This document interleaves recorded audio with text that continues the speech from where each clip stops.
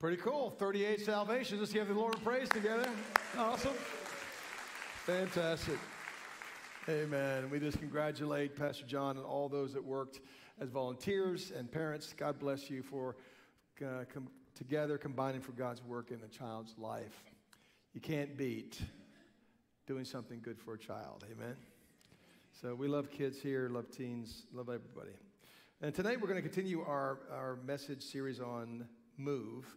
And we had talked about last week that we are to move with the Spirit and move from faith to faith, glory to glory, et cetera, et cetera. But today is more about uh, the warfare that we face in trying to do that. That is, the enemy moves against us so that we will not move forward in our faith. But God is greater, and God is going to give us the victory. We're going to look at Psalm 62 and verse 6. In the Psalms, 14 times you'll find this phrase. 14 times it's a theme. I shall not be moved. Because David, even though he was a worshiper, even though he was a king, a warrior, guess what? David had enemies and David had struggles. And so David many times had to do the same thing you and I do and we have to say, no, I'm not going to be moved by this circumstance coming against me. And everybody said, Amen, amen. All right. So, again, Father, we just pray in Jesus' name that you will make this meaningful, that you will intersect us in our thoughts, you would plant the word in our heart, it will not return void. We pray you anoint the preacher and the parishioner alike, that you touch, touch us together, that we sit together with you in heavenly places. Lord, bind every distraction and uh, every hard heart. And Lord, open our hearts to you and to your word and your love. We thank you for that in Jesus' name. And everybody said, Amen.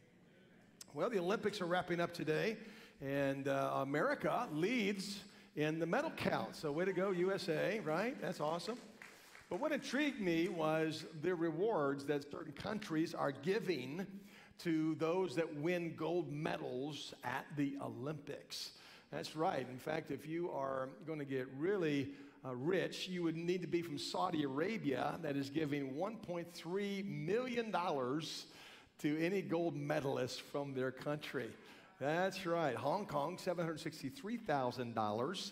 Indonesia, interesting, $363,000 and five cows. How about that? I mean, let's just throw in the cows because, you know, you never know when you might need one.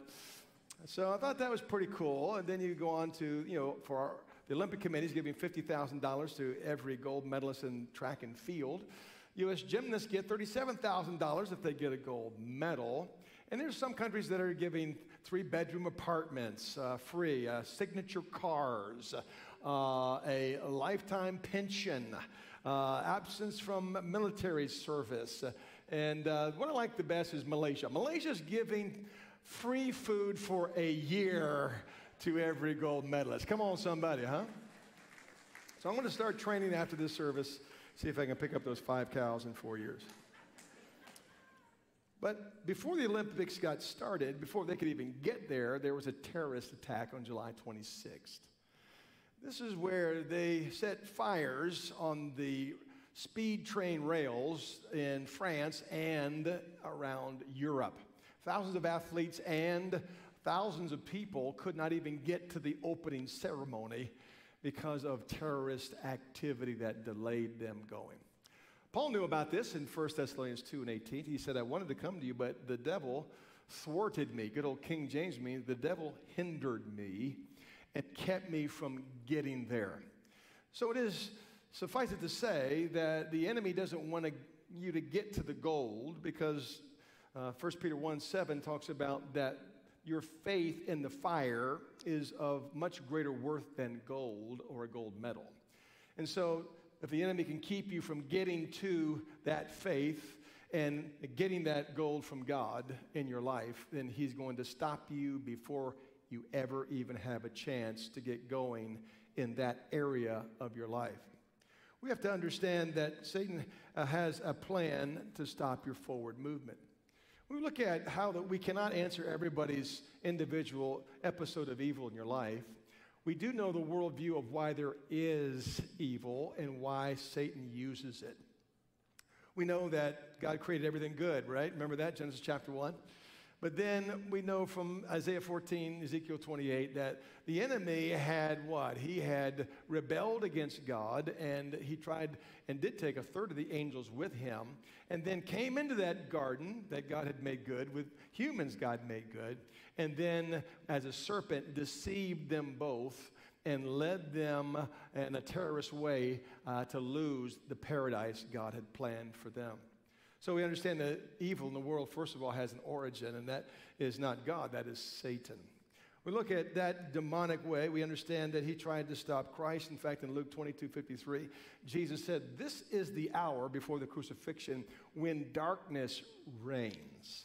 He was acknowledging that there is a spiritual battle, the earth is a contested space, and that the enemy is trying not only to take it over, but take you over and take you away from God. Well, demonic evil leads, leads to moral evil.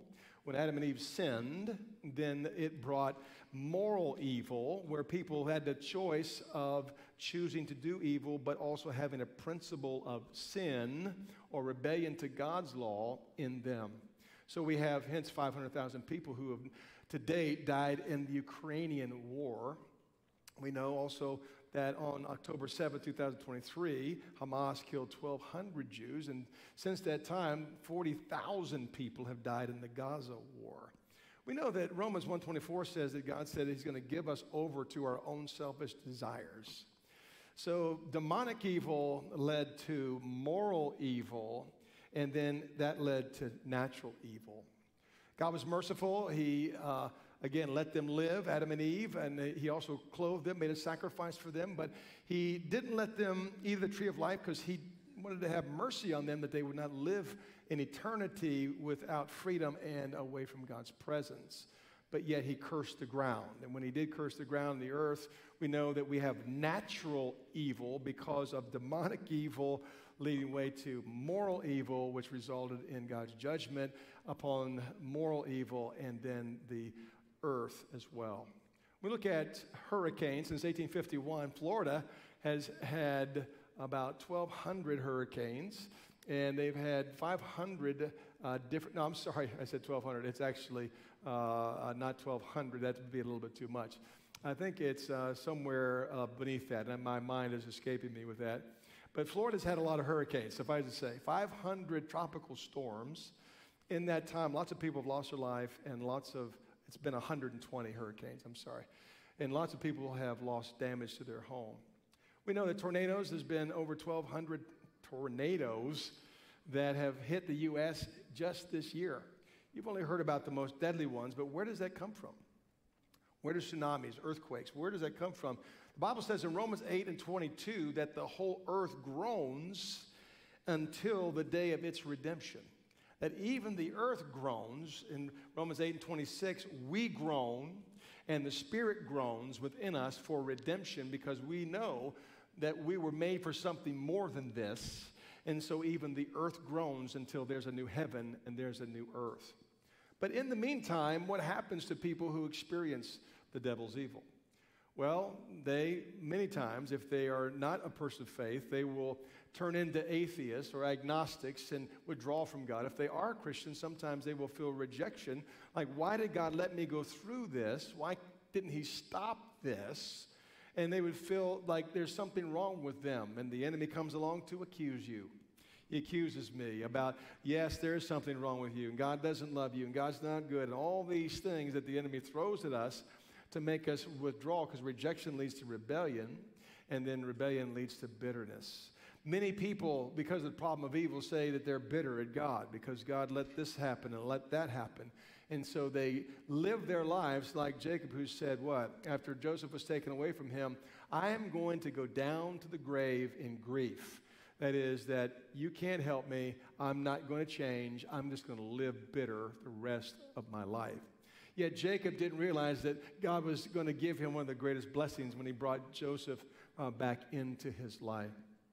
Even in Hollywood, we know from the Batman movie, Lex Luthor is articulating as the villain, he is articulating the problem of evil even out of a Hollywood film. He said, The problem of evil in the world, no man in the sky intervened when I was a boy to deliver me from my daddy's fist and abominations. I figured out way back if God was, is all powerful, he cannot be all good. And if he's all good, he can't be all powerful. So it is, we know from our text today, that even believers struggle with the problem of evil. Psalm 62, verse 1, he says, My soul is waiting on you to give me deliverance. In fact, I don't know why uh, you are allowing this to continue in my life. He said, I, I in verse 3, uh, the enemy is continually attacking me. You're doing nothing. My soul waits in silence. That is, that the outward prayer is reflective of an internal battle inside of him about how that he is battling in silence the things of why this evil, why God. But yet in verse 2, he says, I still will not be significantly shaken. Significantly shaken means that we're real. Christians are real. That is, that we, we get affected when we lose somebody, we get affected when there's evil.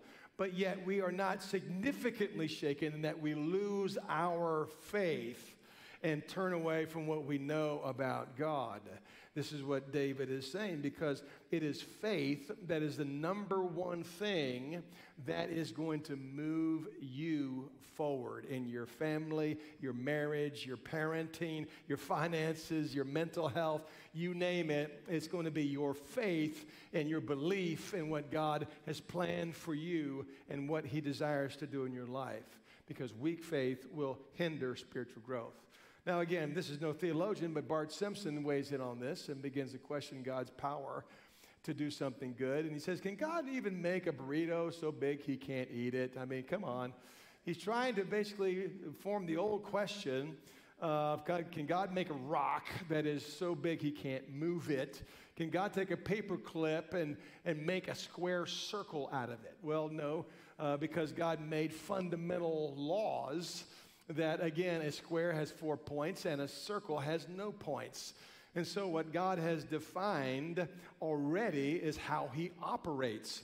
And what God uh, operated in was a choice that He had. He had a choice to create none of us, He had a choice to create us as robots. That yes, you will love me and you will obey me. Yes, sir, I will because I am a robot. That no, the third choice he had was to create us like him in his image and likeness, which is free free choice, free will, and which is holy and pure and good. And so he chose to do that, but that had a consequence. The consequence was that we could choose something bad, like even Adam did. We could choose evil, and if we did choose that, then God, who is good and holy, would have to chastise and judge us for that so that we could be corrected with that. And in all that, we see that there's judgment on the world, on moral evil, and it all came from the devil. So God made a choice because the what he wanted was a relationship. He wanted you and I to truly love him, not be made to love him. He wanted to have a, a, bigger family than just the triune Godhead, Father, Son, the Holy Spirit. He wanted to have a, a, a family of God. And so, in doing that, he had to create the possibility of choice. And the possibility of choosing brought the possibility of evil. So God operates within those laws. Natural laws cannot be moved that He made. You know, you can't move the conservation of energy, the laws of thermodynamics, the water cycle, the fine tuning of the universe, or we would all be dead. If those change or removable, then we would not be here, folks. But God has set these laws, which are unmovable, into existence. And there are also spiritual laws that cannot be moved. This is what the psalmist comes down to say in verse 6 After all that, I'm waiting, and I am also uh, wondering how long you're going to let this go on. Verse 3 I am waiting again. Verse 5 and verse 6, he says, What? Because the Lord is my rock. Now, again, back in those days, uh, mountains and rocks, they were not easily movable. Today, we might blow them up with dynamite, but then um, you couldn't move them. So he's finding something in the landscape of his life and his times that cannot be moved, and he's equating God and his belief in the revelation of who God is into that metaphor, and he's saying that God is my rock that he is my fortress. Therefore, I shall not be moved by the enemy who's moving against me. And what we see in that is what are some of the rocks that cannot be moved. Well, he says in Luke chapter 18, 19, Jesus says, There's only one that is good. Only one that is good, and that is God. It's like C.S. Lewis, who said he was an atheist, but he said, I found out that when I was an atheist that I thought the world was unjust. But I said, well, how can I, how can I say the world's unjust? Well, there must be a God that made it just. So, so when we look at the fact that there's only one good, how do you know there's evil? Because you judge it by there is good. And who is the one that is only pure good? That is God. Mark it down. He is the purity of perfect goodness. He can never, ever be not good to you. Amen. Amen. Praise God. End of story. So you got to have that as a rock in your faith. That's what Habakkuk 1.13 says. God doesn't create evil. It's the devil who creates evil. It's moral people who create evil. It's the naturally. But God doesn't create evil because why? James 1.13. God cannot be tempted with evil. That means he can never do you wrong. Hello. He can't be tempted to do you wrong and do you in and to be mean and send you a lightning bolt. He can't be tempted to do evil and neither will he tempt anybody else to do evil. And because of who he is, he has defined his almighty power to be governed by his almighty attributes, and that is that God is good. Therefore, God cannot sin against you. He cannot mess up against you, right? Bible says in Hebrews 6 and 18 that God cannot lie to you. That if he told you something, that it has to come to pass. The Bible says that he cannot cease to exist. The Bible says in Malachi 3 6, he cannot change. He doesn't get up one day and say, I'm having a bad hair day, I'm going to be mad today and moody, and I'm going to strike somebody with lightning. No, God cannot change. He's good all the time, holy all the time, righteous all the time, just all the time, perfect all the time, can never fail you all the time. That's why you understand he cannot break his promise. Come on, somebody, you need to think about this just a second. God is my rock.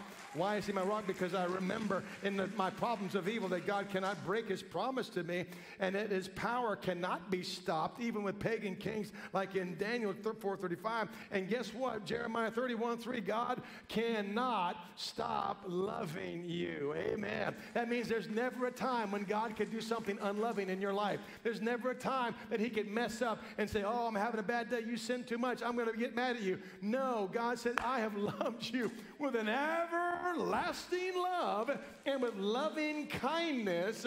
I will draw you unto myself. I'm going to, in Hosea, I'm going to woo you. I'm going to romance you. I'm going to let you know, Romans 2 for the goodness of God, so that you will turn to me and realize I'm not behind the evil. I'm the one that's redeeming you from evil. I'm the one that's providing for your goodness. I'm the one that's giving you every good and perfect gift. And when you realize that, when the trouble times come, you say, I shall not be moved because God and the revelation of God is my rock. Come on, somebody.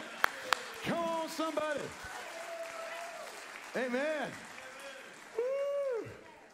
It's time to go get that Malaysia free food for a year. Come on. Well, that's faith. You got to have faith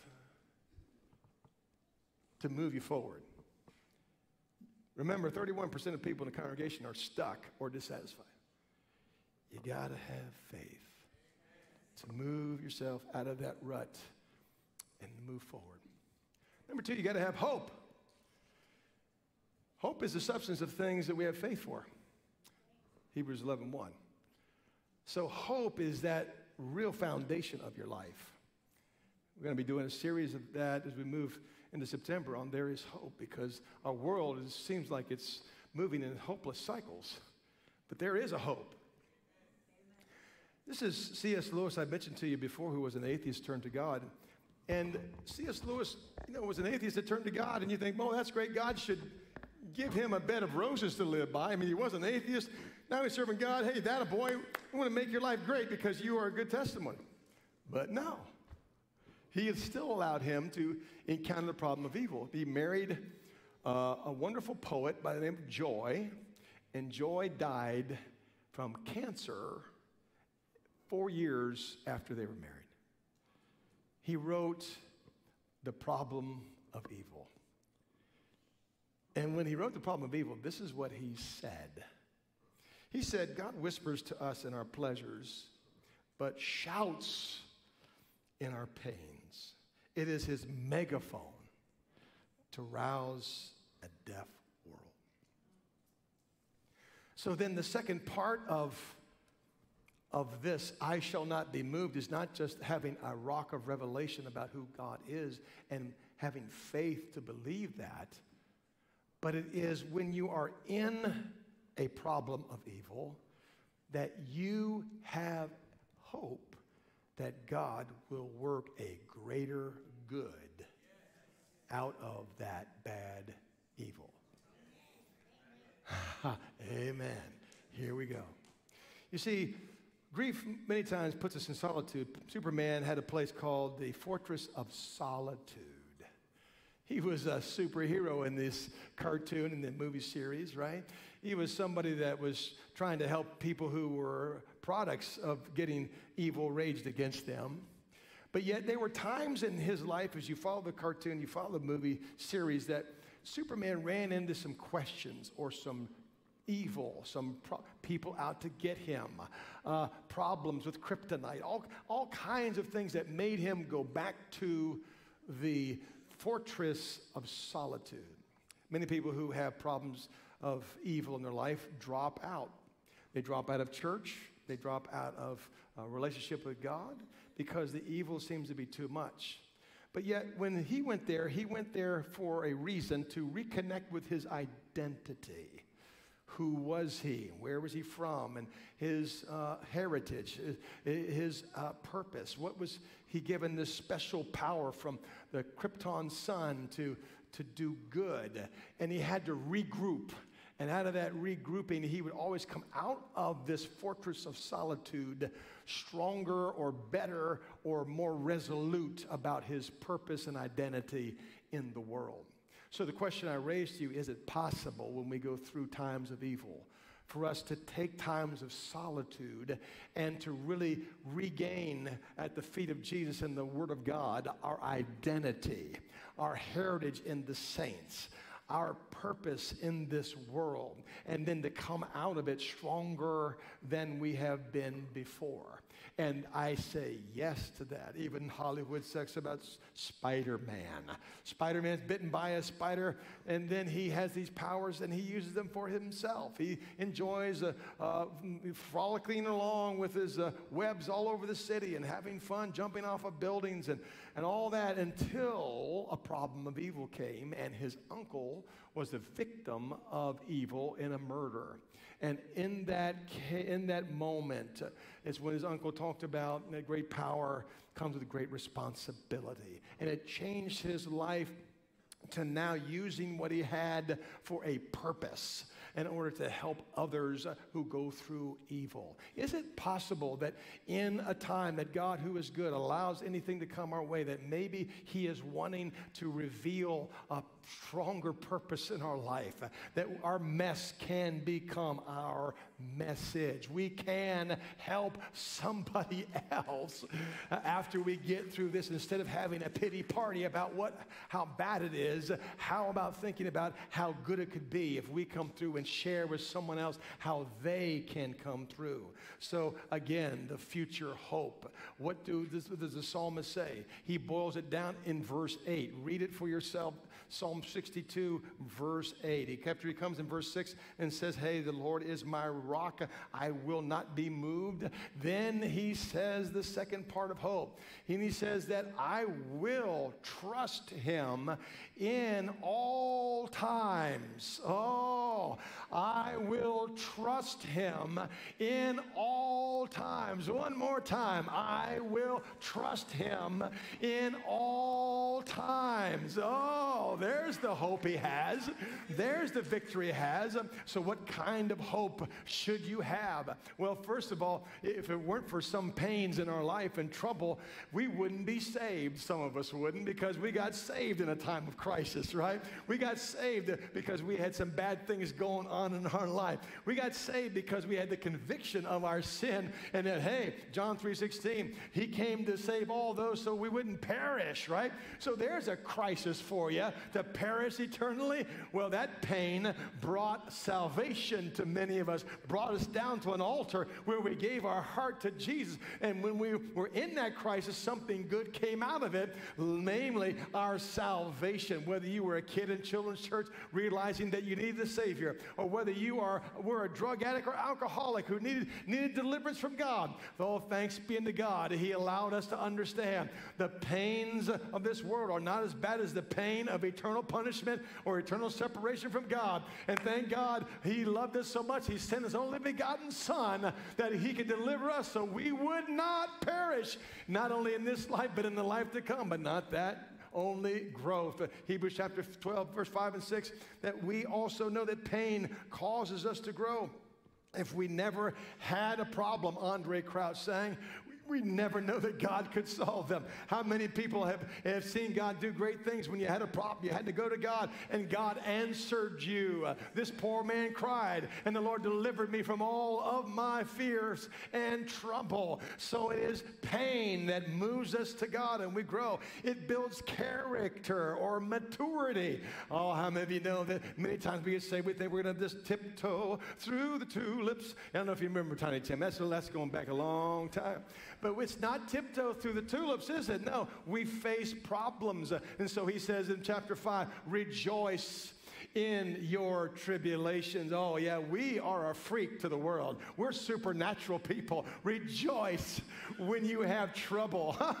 wow, who does that? Only supernatural people do that. Why? Because you, that your trouble is producing a perseverance, and your perseverance is producing character, and your character or maturity is producing hope. God brought me through last time. God will bring me through this time. God will bring me through every time. That's what happens when you grow and you have pain in your life. Evangelism, they had persecution and they went everywhere preaching the gospel. Comfort. St. Corinthians, he said, God comforts you so you can comfort somebody else. Like I said, it's not just our pity party, it's about us ministering to somebody else. It's redemption. If anybody's ever had a time when you prayed and asked God to deliver you from the suffering, then guess who joins you? Jesus Christ the Son of God. When he said, Father, if it be your will, let this cup pass from me. Crickets in heaven, Crickets. No. Is there any? Is it no? No, I'm not delivering you. Why? Because there is a greater good that is going to come out of this. There's going to be a redemption. There's going to be a deliverance. There's going to be a greater good. And the reward comes in Revelation chapter 2. In one day, my friend, we got a future hope. We have a future hope right now, but that future hope is going to be one day realized when there will be no more sorrow, no more pain, no more tears, no more death, no more curse. Amen. We're we're going to have no more devil and no more sin. Praise God. We have a reason to hope for the future. Hallelujah. Man, I'll tell you what, I feel like I had my Wheaties this morning. The breakfast of champions. But actually, we know there's a final evil, and that's emotional evil. There is demonic evil, there's moral evil, there's natural evil there is emotional evil. Because the devil sends a wo- wounding spirits to wound you. Just not to let you know, this is not patty cake time. The enemy's out to wound you. You know, it takes three soldiers that are healthy to care for one wounded soldier on the battlefield. And if he can just wound all of us, then all we do is we we don't reach the, the harvest. We just keep taking care of each other's wounds. It's good to take care of each other's wounds, to weep with those that weep. But we have to understand the enemy is out to wound and destroy us all. Sorry to give you the good news today. At least I'm smiling. You see, when we look at emotional evil, we understand that this is really the twist. This is not just the knife. The knife is demonic evil, it's moral, natural evil, but the twist is the bitterness.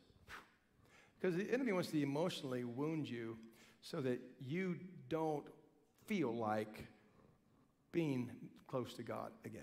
You don't feel like you can trust Him again. You don't feel like your life can have a good ending. You don't feel like you can get over this. These are all what the accuser does. Jesus said, He is a liar and a murderer from the very beginning.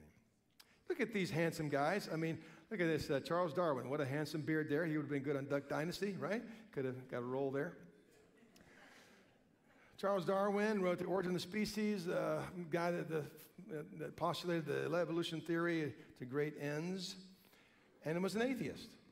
But was he an atheist cognitively? He was raised Baptist. How about that? Yet, he lost a daughter at age 10, Anna, and Anna was the joy of his household, he said. And maybe, just maybe, the problem of evil of God not healing her contributed to his atheism. Bart Ehrman, the next guy. Looking smart. Bart Ehrman used to be a youth pastor, Christian youth pastor. Bart Ehrman was trained at Wheaton College, Moody College, also Master of Divinity at Princeton. And then turned away from it all because of the problem of evil that he saw. Evil's personal, isn't it? It gets into our emotions. The next guy, I think this is Charles Hitchens. Now, this is Richard Dawkins, the guy that's in the white shirt. Richard Dawkins, one of the most foremost atheists today, Richard Dawkins was in a Anglican Christian boarding school and was memorizing scriptures, theology, just like all of the other boys. But then there was a Latin teacher that sexually abused him for years. Turned his confidence away toward people who were religious. He turned into one of the greatest atheists. Last guy on there, Christopher Hitchens, was also in an Anglican boarding school. His father was an austere military man. He identified more with his mother. And yet, in that time that he was drawing strength from his mother in his Anglican church school, his mother ran off, left him for an Anglican priest that she had an affair with. Maybe, just maybe, emotional evil has a real twist to the heart. Maybe the problem of people being agnostic or atheist is not so much cognitive as it is emotional. Maybe. When we look at the psalmist's response to this, he, in the same chapter, comes down in verse 12 and he says, You know what? I know God is the rock. The revelation I have about God is my rock. I will not be moved. I know that God is all powerful and He's good. I also know from verse 8 that I can trust him. I have hope that I can trust him in all times to bring a greater good. Now, again, some things, folks, we can't even figure out how there could be good come out of it. I agree. There's some things that, like, how could you think there would be good come out of that? You know, mutilations of children and war and all the various things that take place. Well, we don't know. We can't say. All we do know is the principles of God, that God is good. And we know his promises that God is able to work all things together for good somehow. Even the Holocaust, six million Jews being annihilated, worked towards sympathy of them being created as a nation in 19, 1948. I'm not going to give you a pat answer that there's something good we can identify. No, I can't answer that. Only God can. But what I can say is that he knew that God and who he was was a rock. He knew that his hope was in God, that he could trust him at all times. And he also knew that God Loving kindness, love and kindness is who you are, he says in verse 12. Wow, wasn't this the same guy who was complaining for the first five verses of the chapter? How long am I going to wait? Verse 3, you're going to let these enemies keep on uh, giving me a beat down. I mean, how, how, what, I'm in silence here, just wondering what's going on here. And all this. And then he comes down and says, God, I can trust him, and God is loving. This is how you are not moved. This guy, Francis Damien, is on the left in the uh, 19th century. Found out that the found out that the uh, colony in uh, Molokai off the Hawaiian Islands, there was a colony of lepers that did not have a priest. So even though he could catch leprosy, he went to be the priest. He went there to be the priest, and then after 12 years, he pulled back his shirt to the lepers and said, We lepers, because he had contracted leprosy and would eventually die from it as well. He had showed those lepers something that they knew that he had love because he entered into their suffering with them. So it is that there's a guy that's Francis uh, uh, Francis, I can't remember his last name, but Francis, he's a good guy. Francis was uh, someone who was a scientist who wrote the, uh, who helped discover the genome under President Clinton. He was on President Trump's um, uh, national health advisory boards and so forth. A great scientist who was an atheist. But this atheist was assigned to hospice. And in hospice, this atheist noticed that the way that Christians died was different than the way non Christians died. And he noticed that Christians had a lot of peace and sometimes even joy that was absent from those that didn't know God. And then one day, one of the hospice patients asked him, So, as an atheist, how do you face death? And when he thought about it, he didn't know. And guess what? He became a Christian. Could it be?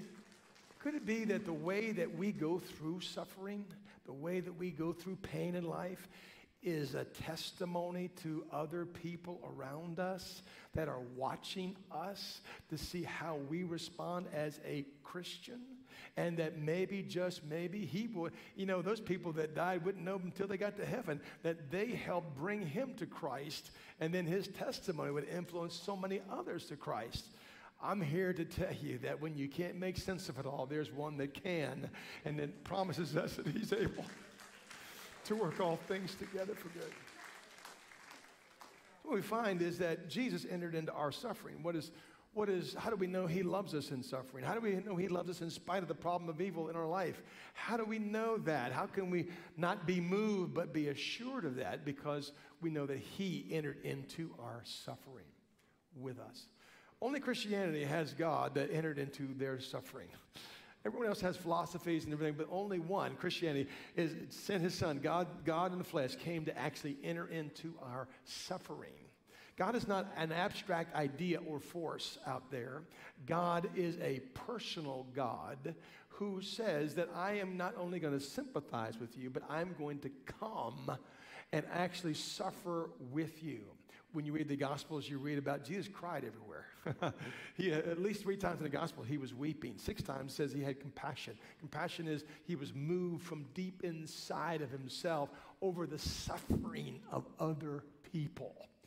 Jesus was showing us what God is like that he came and entered into, and he wept over what had happened to the creation that he made to be good and live in paradise, and one day will restore to paradise. But right now, he is weeping over our problems of evil. He has compassion. That's why Hebrews chapter 4 says that we can come boldly to the throne of grace because he was already tempted and tried in every area like we are. And so, because of that, we come boldly knowing that we have a sympathetic high priest that didn't just theologically say, Oh, I think I know. He came and experienced it. That's why in Revelation chapter 5, there's silence in heaven because there's a scroll that th- th- is there that can't be opened because it's a scroll that redeems the, the, uh, the sin and the degradation and the destruction of the world. And only somebody worthy can open the scroll. So it doesn't give him a vision of being the lion at that point, it gives him the vision of being the lamb as if it was slain. Friend, this is the picture. All the pictures, um, symbols of all the religions of the world. Islam has a crescent moon and a, and a star, and, and you got all these different. Well, what's the symbol of Christianity? It's a cross, folks. It's a cross.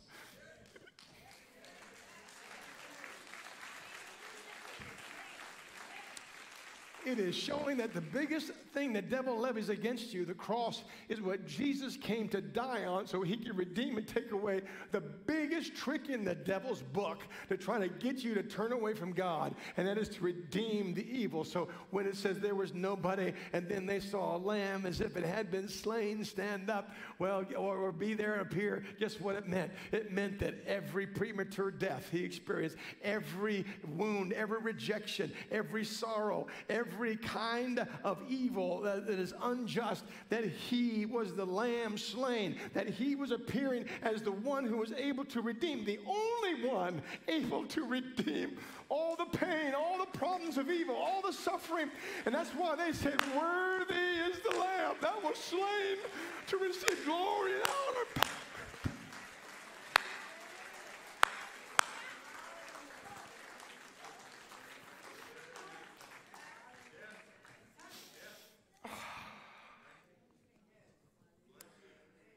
So Jesus says in John 14, 18, I will not leave you comfortless. I will come to you. I will be with you. Hebrews 13, 5, I will never leave you nor forsake you. John, uh, Matthew 20, 28, 8, 28, 20 says that, uh, it says that I am with you always. He didn't abandon you. Job thought he was abandoned. 38 chapters, he rambles on. His friends did a great job of being comforters until they opened their mouth. They were there for a whole week and said nothing because presence is the greatest present you can give someone else. And then after 38 chapters, God says, Hey, just in case you're wondering, I've been listening. I've heard you, Job. Let me tell you, you may wonder if God's listening to you, but God is listening to you. Exodus 3 and 7 I have heard their cry, and I am coming down to deliver them.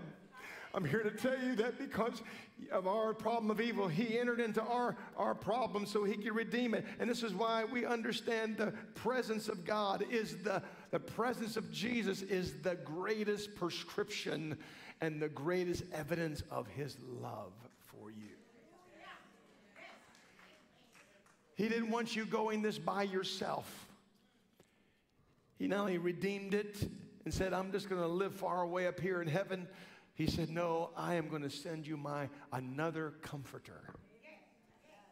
Another paraclete who's going to stick beside you and walk with you through life and teach you to overcome just like I overcame. And when you overcome and see me, you will sit down on my throne with me because I've overcome and I've taught you to overcome, and we will sit together and we will reign together for eternity and eternity because that is why I'm giving you my spirit to see you through. I've got to conclude. 12 12. Psalm 16 then brings it to an end. What does the Lord say is our response? We know that He, the rock of who He is, is our, as a, the revelation rather of who He is, is our rock. The hope of our trust is that we can trust Him all times to bring a greater good. And then the love that He has toward us was evidenced in what He did to suffer with us and now what he gives us to overcome in this life. David, who many times said this phrase 14 times, I shall not be moved, gave us the secret. Here in Psalm 16, if you read the title over it, it says a miktam, a miktam of David. Now, miktam is an interesting Hebrew word. Some interpret it as golden, some interpret it as to cover.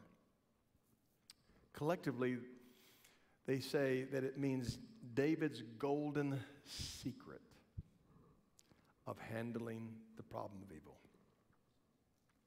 What was David's miktam, his golden secret of the problem of evil, handling it? It was the presence of God as Pastor James comes to the piano.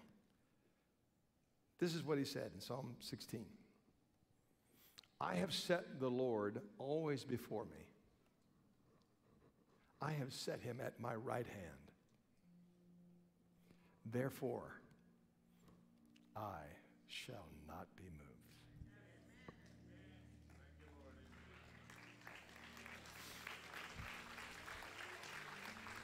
Verse 9, he talks about in verse 10, he said that, For I know he will not abandon my soul to hell. He's not going to let me live in this hell. He's not going to abandon my soul to hell. And I also know that in his presence is the fullness of joy. And at his right hand are pleasures forevermore. You see, too many Christians get content to live without the presence of God. Too many times we get careless. David got careless at one phase of his life. And when he got careless with the presence of God, he got into sin with Bathsheba and a whole bunch of other stuff. Friend, I want to tell you that church is not a waste of your time. Your spiritual disciplines are not a waste of your time. Your faith is not a waste of your time. I'm here to tell you that when you set the Lord always before you and He's at my right hand, that means I can touch Him. Amen. He's not like far away. Where did I leave Jesus? Did I leave Him back in Jerusalem? No. He is like my right hand. He is right there near me. He's close to me. I keep Him close, right? I keep Him close, and because I know the secret the secret to handling crisis is that I set the Lord always before me, that I keep him at my right hand because I know that if I got him, he's not going to abandon me to hell. And I know that in his presence is the fullness of joy, and at his right hand are pleasures forevermore. Let me tell you, Paul said that in all my distress, my joy knew no limits. What is the joy? Paul says in Philippians chapter 4 and 4, it's the joy of the Lord. Hallelujah. Friend, I'm not even talking about his deliverance, I'm talking about the joy of Jesus. You know, Jesus, he was a cool dude. You know, he went around all the time saying, Be of good cheer. hey, take that frown and turn it around. Come on now. He said, Be of good cheer. Why? I've overcome the world. In this world, you're going to have tribulation, but be of good cheer. I've overcome the world. I'm going to tell you, this life is about learning to be like Jesus. 1 John chapter 2, 16, as he is, so are we in this world. It's about learning to overcome. It's about learning to trust in God. It's about learning to practice the presence of the Spirit of God. Why was he praying for three hours in the Garden of Gethsemane before crucifixion? Because he knew it was the presence. I will always always set the presence of God before me. I will keep him at my right hand because I know if he's with me and he won't abandon me. I've got to have Jesus in my life. I've got to have the Holy Spirit full inside of me. Come on, somebody. Somebody get hungry for God in this house. Somebody. Somebody. Oh. Oh, let's all stand together, beloved. I'm ask the praise team to, to prepare the verse. He took what the enemy meant for evil and turned it for good.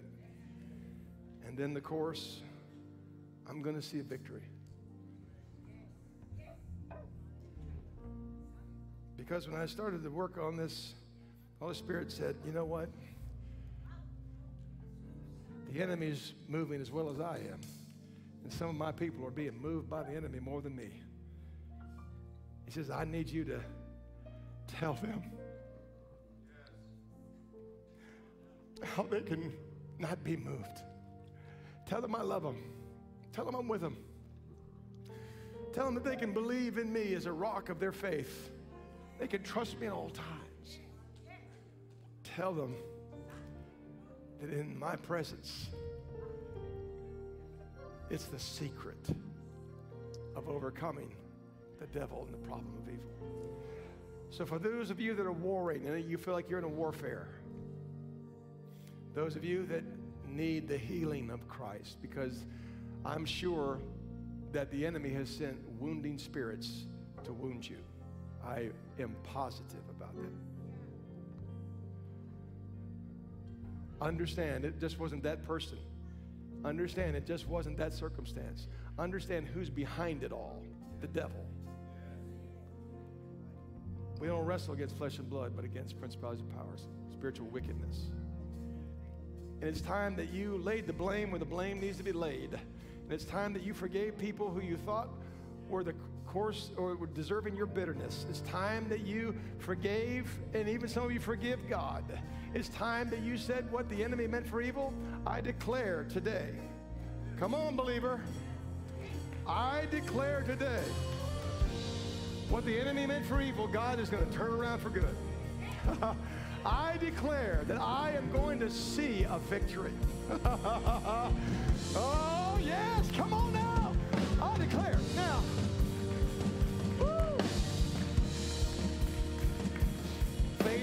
Faith always has an action. So if you if you believe this word, you're going to act differently. Some of you are going to pray. Some of you are going to come forward and join me in the altar and sing with this team and declare what the enemy meant for evil, God is going to mean for good. Some of you are going to declare and praise him because I'm going to see a victory. You're going to get in the presence of God. It's David's secret. I will set the Lord always before him. Some of you are going to decide that you're going to ramp up your faith when you leave here. And this week, you're going to have a greater prayer time and prayer and praise life than you've ever had before. People don't know this, but I've got a, I've got a, I'm old, man. I'm as old as dirt. I got a CD player that has a CD that is old as the hills, but it's got this worship music on that always gets me in the presence of God. And that's my go-to worship time. I tell you what, when I when I need to, I get that out and I put that on. Why? Because I know I need to set the Lord before me. I know I need to get in the presence of God. Come on now. And God wants you to want that. He wants you to feel that. He wants you to say, ah, yes, I'm coming. I want to get in the presence of God. So I want you to step out and join me. If you're in spiritual warfare, I want you to step out and join me right now. Come on, don't be afraid. You, you could be about something else. Sean, you guys, come on up right now. Come on out. Some of you need to come out and step out of your seat. Because when you step out, it's an action. And when you step out with an action, you release faith. And when you release faith, you release God to do something in your life. So I want you to step out like you have right now and get in here. And I want you to begin to practice the presence of God and while, if you're standing there, do the same thing. I want you to begin to declare that what the enemy meant for evil, God's going to mean for good. And I'm going to see a victory. Are you ready to do that? Are you ready to do that, beloved? You're not going to leave here like you came in Jesus' name. I'm telling you, if you'll do that, you're not going to leave here. Okay, you ready, Pastor James? Let's do it right now. You take what the enemy meant for evil. Come on now, start saying and it. you turn it for good. Come on now, start saying it.